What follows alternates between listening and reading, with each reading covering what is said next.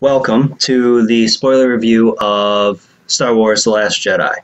I highly recommend that if you haven't seen this movie that you read the article which link is posted in today's subject as we're going to get into everything from characterization to plot points. Um, I am Mr. Nose and this is go ahead and introduce yourself. I'm your lovely wife, Amy. Rosie just arrived. Yes, the lovely dog. So, Amy, what are your initial um, thoughts about just getting out of this film? I very much enjoyed this film. we can talk about Thanos, the big chin guy. Okay, yeah, they played the Infinity War trailer beforehand, but is there any specific uh, character moment that stands out? Uh, maybe I should have prefaced with I can talk about Guardians all day long, but I can't talk about yes, Star a Marvel Wars. woman instead of a Star Uh, Wars. Um, Okay, well, I really liked Rey. Um, I was sad that they killed Luke Skywalker. I was annoyed that Rose kissed Finn because Finn and Rey are supposed to end up together. Although maybe Kylo Ren will turn from the dark side and then him and Rey will get together. Or maybe they're brother and sister like Luke and Leia. unlikely. Um, You don't know. uh, it's unlikely. We don't know who her parents are. Um, I want to start with just general broad terms. So when you look at the um, characterization of Rey, um, for instance, um, what kind of performance do you believe uh, Daisy Ridley gave us? Um, I thought she was spectacular as Rey. Um, there were maybe one or two moments where I felt like she was portraying Rey as not necessarily inept but naive, and that is shown within the throne room scene with Snoke. I think she is naive. On purpose. Like, I think that's part of her character. Because she has this force inside of her that she said she doesn't know what it is or what to do with it, but it's just always been there, so she doesn't understand it. Okay. Um, I think that was on purpose. do you think um, there were a lot of connotations within The Force Awakens of Rey being a Mary Sue? Uh, I I felt this uh, film showed more than anything that she wasn't. Um, she was very um, what's the term? I don't want to say inadequate, but she she was more concerned with her past still than leaning forward. It was never about uh, what Luke wanted. It was all about bringing him out of his hermitage, and that was, in my opinion, naive of her. I don't understand. How is it naive to want, like, that's what ended up happening? She expected to show up and Luke be ready to go. Well, that's because she had always been told that he was the hero, She believed in the legend of Luke Skywalker. which turned out to be true. to a certain extent. Um, he did show one of the strongest force powers that I've seen in the current canon. Uh, to be able to astral project, essentially astral project his essence. Isn't that what Snoke's been doing with his big head? No, Snoke was using a hologram. It was interesting to see Snoke throw Hux around the bridge, though. Yeah, through a hologram? How do you do that? Ask Vader. I- Vader force choked uh, Admiral. Oh, I can't think of that admiral in Empire, but without a thought, it right through the, the string, and and then Admiral Piett uh, was raised. Just be. No, that's not right. Admiral Ozzel was the one he choked. Admiral Ozzel. Admiral Ozzel came out of Lightspeed too close to the minefield, blah, blah, blah, blah, blah. But we're not talking about Empire. We're talking about The Last Jedi. Rey is the last Jedi. Yeah, Rey, and they they showed that. For a minute, I thought Kylo Ren was going to be the last Jedi. I thought he was going to be the good guy. Well, talking about Kylo Ren for a moment, he he pulled a surprise that I didn't expect. Which was? Kill, cutting Snoke in half. I was thinking about that actually. And for a minute, I thought he was going to turn to the light and become one of the good guys. However, I think he saw an opportunity to take advantage of Rey and combine forces with her, and he couldn't do that with Snoke alive. I don't think he saw that opportunity until after he killed Snoke. After Rey pulled the lightsaber and it flew around and hit her in the back of the head, which was one of those comedic moments in the film I didn't expect, but I enjoyed. Um, and I, I want to say this now: the Porgs are almost non-existent. The what? The Porgs, the little the little penguin-looking things that Chewbacca's new friends? that Chewbacca tried to eat No, he was flying with them. Okay. The Falcon. before he was flying the Falcon with the Porgs, and he had that roasted chicken thing on a spit. That wasn't one of That them. oh, that was a It porg. was that was a not. porg without it was doubt. not. That was a porg. I'm It sure was not. that was a porg with No, a little bit of were like- time and They were. Where do you get time on this random planet that they're on? it was in the, in the jungle. I'm sure it was in the Falcon store. oh, Han's got a spice rack. well, sp- you don't know what spice is in the Star Wars universe, do you? I don't know what It's that co- means. it's essentially cocaine. Okay, well, whatever. So we're gonna move on from that. So that was not one of those things. They were like cute, and Chewbacca was like, and they were like, "Oh, I'm so hungry. Please feed me." Feed me my dead cousin is No, essentially what I, that's I, not that what is it how I was. took That's that not what it was. is definitely how I took that scene. No, that was not. He was not eating his new friends. they weren't friends then. But uh, I, speaking of the porgs in that instance, I did like the little caretakers, the little lizard guys, What lizard guys? the ones that got pissed off at Rey when she shot the. They weren't The- lizards. Oh, they were they were lizards. They were not lizards. What would you classify the caretakers then? I don't know. They looked like they had frog faces, but they didn't have long, creepy tails like lizards do. Okay, so can we just compromise and say amphibians? Can we call them Jedi frog people? If you look at some instances, some people have called them Jedi frog people. Um, I think. JFP. anyway, the lightsaber flying around the back end and hitting Rey in the back of the head was one of those moments where where you see Snoke's power and basically trying to humble Rey. And he spent a lot of that time trying to humble. He wanted to kill her. Why would he want to Mhm. humble her? He was toying with her. He was killing her. He was toying with her, trying to get. He, he, So Kylo Ren was he really wanted Kylo to kill her? Yes, he did. And at that point, he was still conflicted. It was not. It, So The you're telling me that Snoke was trying to get Kylo the, to pick. the no. The way I read that scene was that uh, Snoke was trying to get uh, Kylo to finally commit to the dark side because That's what I just said. He's trying to get Kylo Ren to pick. No, he wasn't trying to get him to pick light or dark. He was trying to get him to commit.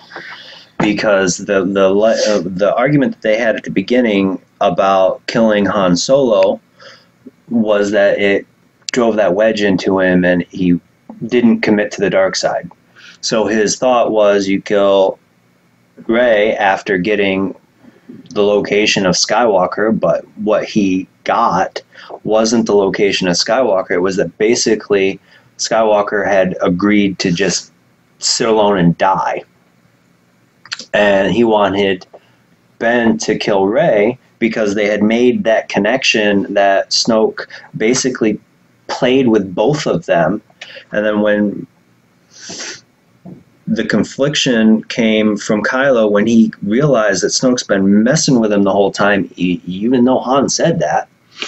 So he kills Snoke, and then he, after killing Snoke, is when he is truly and utterly lost, so to speak.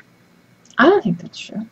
Oh, 100%. Why He, would he be lost? he is not redeemable. Oh, right. He wasn't lost in that. He wasn't sure where he was. Right. He right. no, was he was he was lost to to, the dark the side. dark side. That makes sense. I disagree, but that's okay. I think he saw that opportunity prior to killing Snoke. I think he saw that Snoke was toying with him, was manipulating him, and he saw Rey's spunk and uh, Thought he could turn her? power because and uh, the limitless power essentially because if she was that powerful being untrained then i think he saw a greater potential in her Well, and look at the what she could do with the limited training that she had. Luke didn't. Luke did not train her in any kind of force or lightsaber tactic. What he more or less trained her in was philosophy. That the Jedi of old basically needed to die, and that the new era of Jedi, the true era, well, I, I can't guess you can't say true era, but the one without that dogmatic narrow view that allowed Palpatine to rise to power, which I loved seeing Luke call him Darth Sidious. well that's who he is Yes, but nobody in the Empire knew that outside of Vader. And hmm. probably Tarkin. wow luke knows things But talks to yoda dead yoda I think that Yoda scene was the first time Luke has seen Yoda in a very long time. The way the interaction that they had made me feel that Yoda hadn't been around Luke for a long time. Well he had cut himself off from the force Rey said that and he agreed Interesting thought process that only the Force ghosts can come to people who are open within the Force.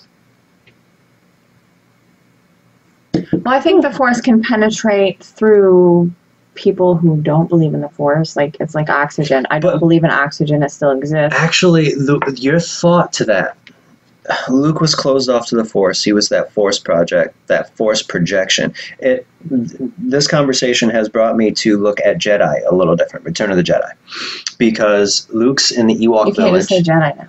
I know that. That yeah, I know. In Return of the Jedi, Luke is after the defeat of the Emperor, and Luke's in the Ewok village, and the Ewoks are munching on some stormtrooper. And he is looking out, and he sees Vader. He see well, Sky, Anakin Skywalker, Obi Wan, and Yoda. And Leia grabs him at, when he's looking at these Force ghosts, and nobody else sees them.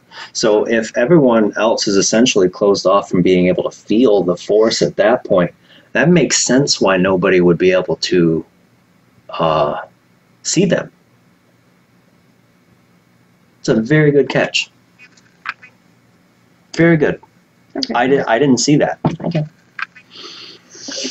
I, I still want to know how Force Ghost Yoda can summon lightning.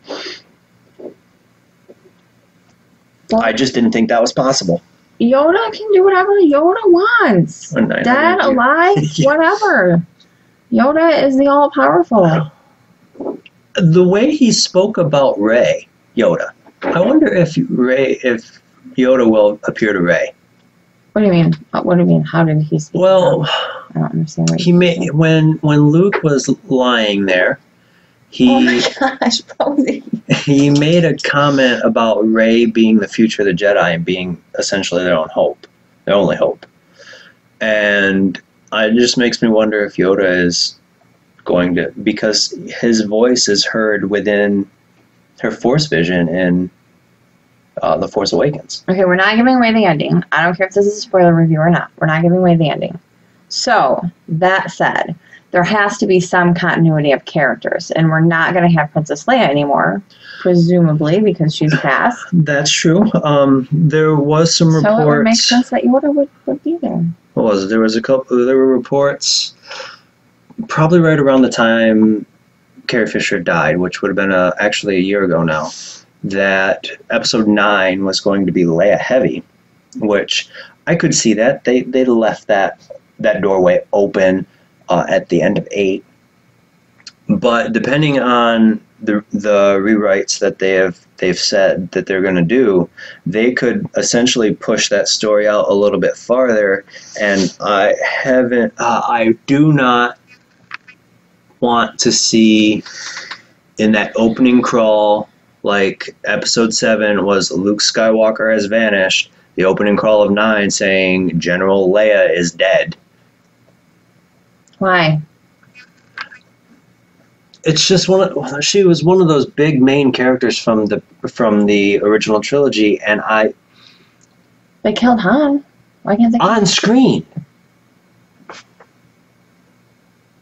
there's a difference between dying in on screen than but that's future speculation. There's that can go anyway and that's not where i want to, lead this conversation yet. Um, because right now we're only talking about the force user's journey. Um, so with that aspect saying did you notice on Ahch-To the I don't know what that means. Ahch-To is the island planet luke was on. Okay. the f- re- refresh my memory maybe you remember what started the fight between Rey and luke What fight? where Rey is swinging a staff at him and luke pulls a lightning rod out with the force and then he throws it away and she takes anakin's old lightsaber and goes to swing at him Uh, she found out that he tried to kill Ben. Ah, the fall of Ben Solo. Okay. Which story? There are a few different versions of that story within this film. Which one do you believe? I think they're both true. However, each From a certain point of view? each you your reality is what you perceive. Okay. Okay, I deal fair. with that all of the time. What I say is not what other people hear. So just because Ben experienced it differently than Luke, I think it's both. I think the truth lies somewhere, Somewhere in the middle. in the middle. So I believe Luke's story, but I also believe Ben's perception of that. You, did you notice during the different retellings of that when Ben tells it, Luke's got this face full of fear and anger and hatred, and that he was just gonna I think that's a little bit of him projecting. I think I was. That's where I was going, and then the way Luke looks at the lightsaber lit in his hand, he had fear in what he was going to do. What that fleeting moment, what he was going to do. Well, it just goes to show how powerful the dark side really is. yes, and how it runs through the Skywalker line. Because that's the only way. In, in Return of the Jedi, it was the only way Luke beat Vader, was tapping into the dark side. Um, and I, I have this feeling that Rey will be tapping into it a little bit more. She didn't tap into it as much as I thought she would in this film. Um, but uh, it was very interesting to me to see. You could see how strong Luke was in the Force because after Rey knocked him down, he didn't fall with a thud. He floated there for a second and then let himself down. So I thought that was a very subtle way of showing just how powerful Luke is, even disconnected from the Force. Um,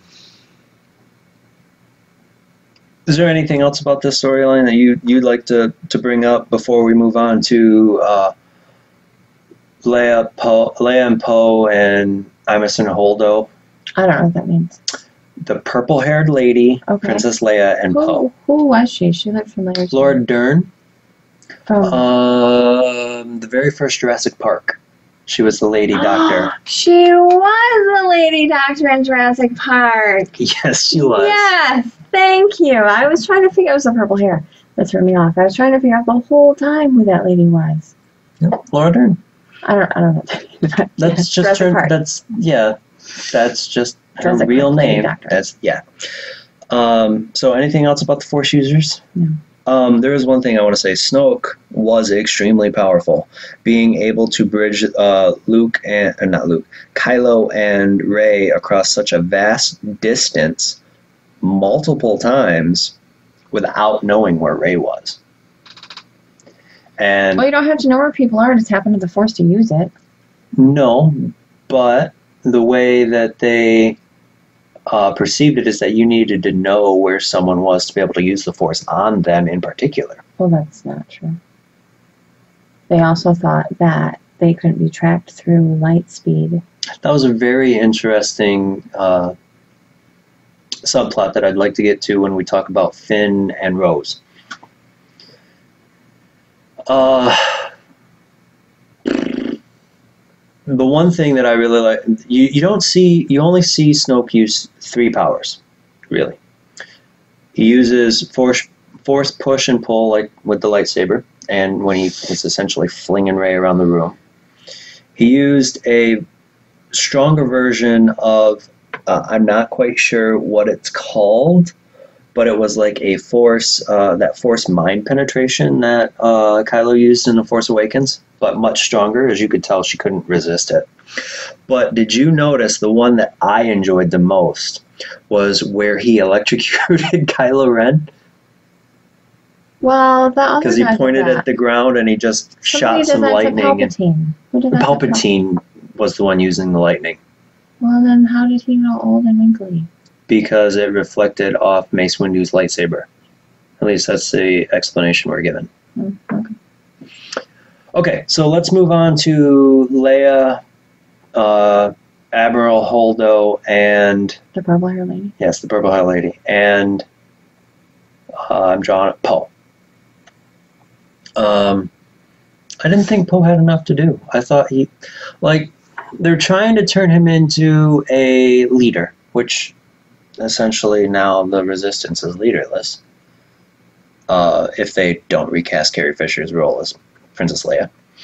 Um, but if this is meant to show him going from a cocky flyboy like Han Solo was to a leader.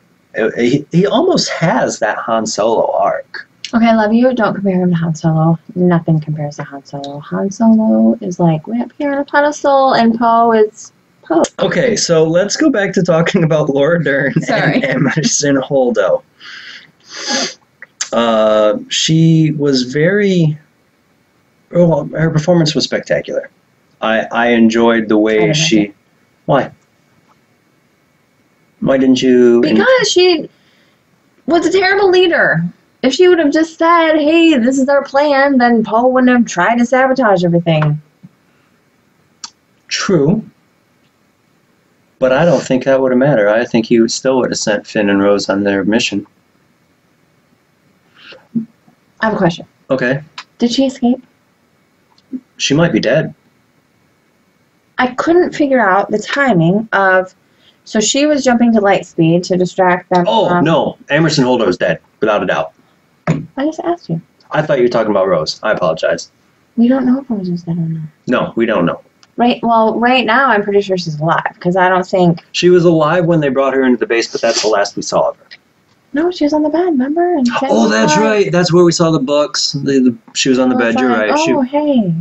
I felt for the screen time that she had, she well, had a strong performance.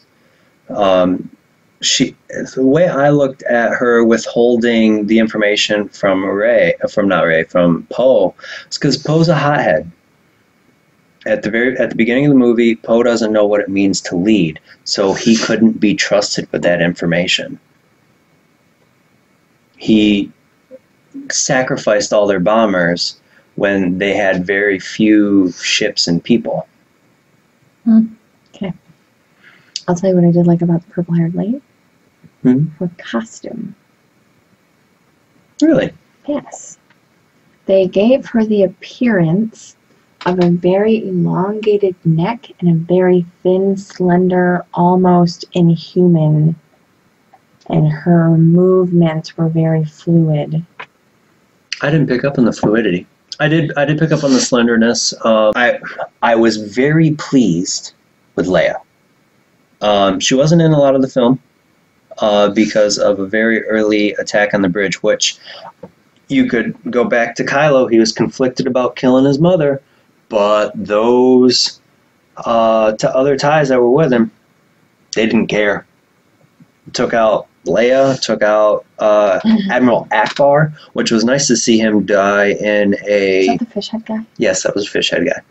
Uh, It was nice to see him go out in a battle, but to see Leia floating out in space, She used the force. I thought she was dead. But I thought I thought even seeing the marketing, because as soon as I walked into the movie, I for, forgot half the marketing. Okay, what's next? Um, we have one storyline left to talk about. Which is? Rose, Finn, and their trip to Canto Bight. Um, so what did you think of the jail and the, the slicer? What's a slicer? The guy they met in prison. The hacker. He was the master code breaker Yes. guy. Yes, that, He's a that- slicer? that's basically what Star Wars calls hackers, yes. Oh, okay, I didn't know. What's his real name? Do we know what his name is? The actor or the character? The character. The character, I don't think they say his name, but and I didn't watch the uh, credits, but in the promotional material they called him DJ. It has real no meaning. No real meaning. Canto Bight, the slicer.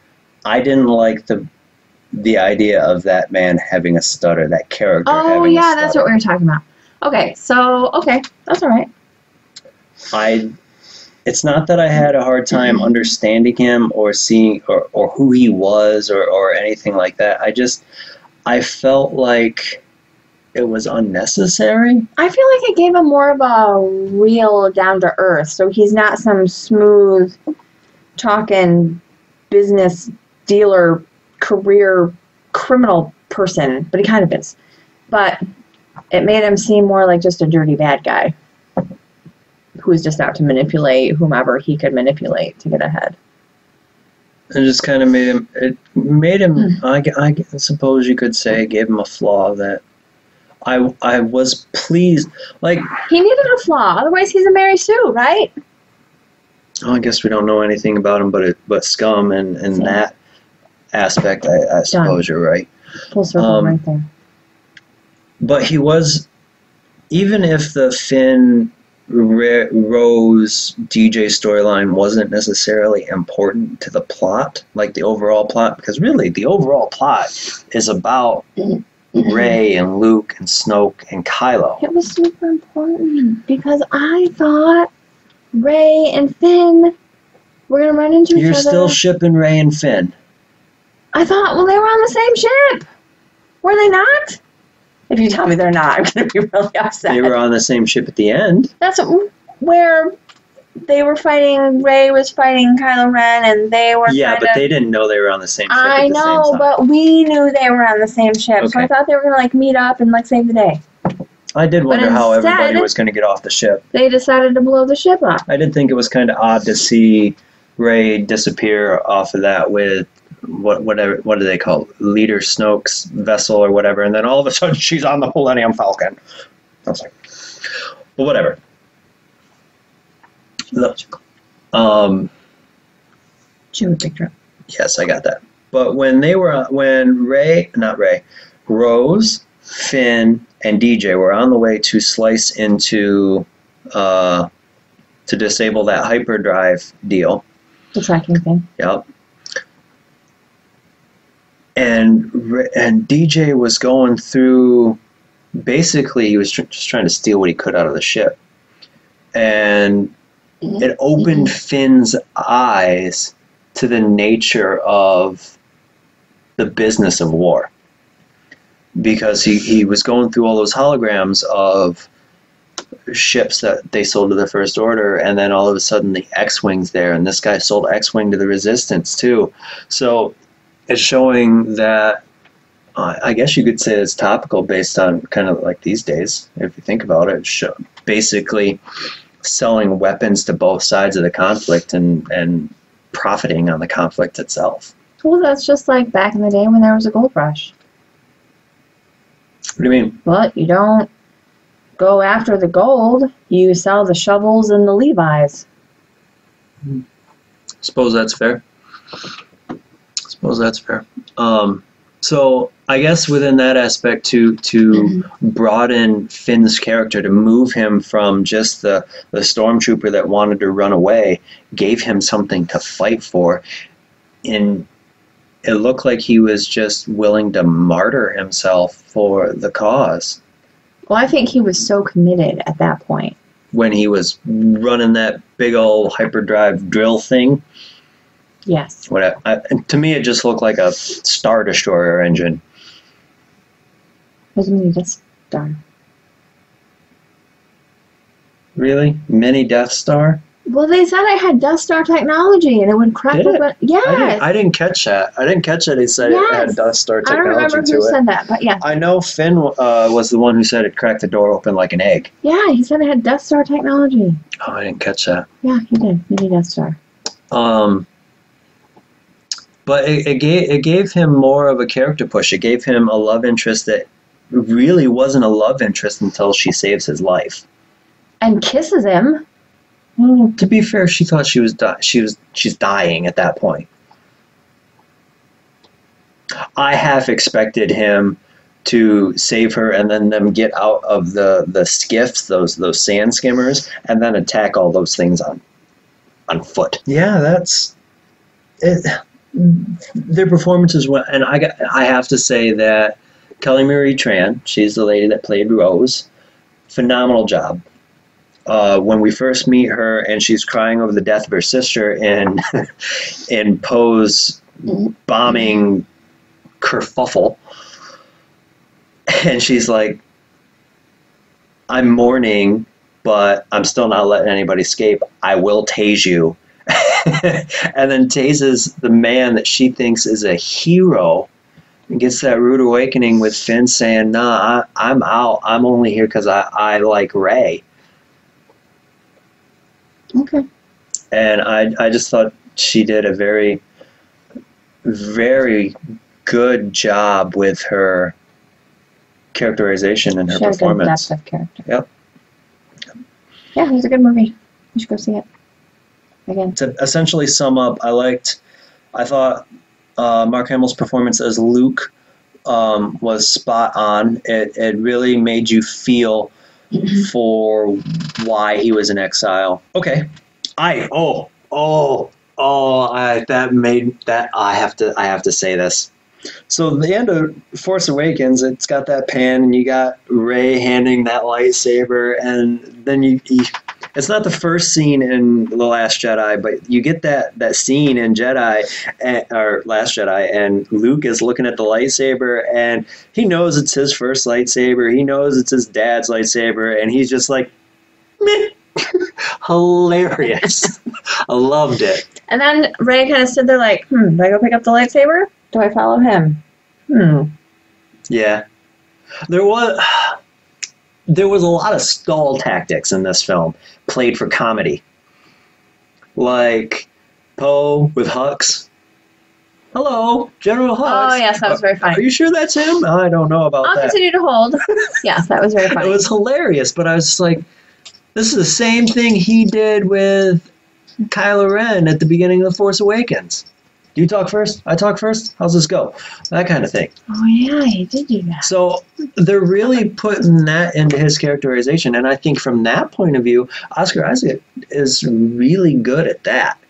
Um, I also, and I, We weren't debating that. no, we weren't. summing but up. I, I was point. talking about the um, performances, and I thought everybody hit. Uh, the only one that I didn't really, I could have taken it or leave, leave left it was. I don't. I think they were all really good. Uh, Gwendoline Christie as Phasma, uh, seeing Mm-hmm. that that helmet split and the fear in her eye, that I think she's dead. Uh, I enjoyed everybody's performance. Uh, I thought it was spot on. It's a movie that is definitely worth seeing, and if you, you if you've sat through this, you don't care about spoilers. But read my article on my website and let me know what you think in the comments below. Thanks for watching.